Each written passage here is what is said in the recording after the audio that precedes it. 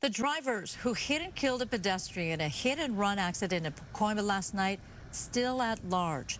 A man in his late 20s or early 30s was struck and killed by a light-colored pickup truck just before midnight. The truck was driving northbound in the southbound lanes of San Fernando Road and hit the man as he crossed near Montague Street. Subsequently, that victim was hit by two other vehicles as he lay in the street.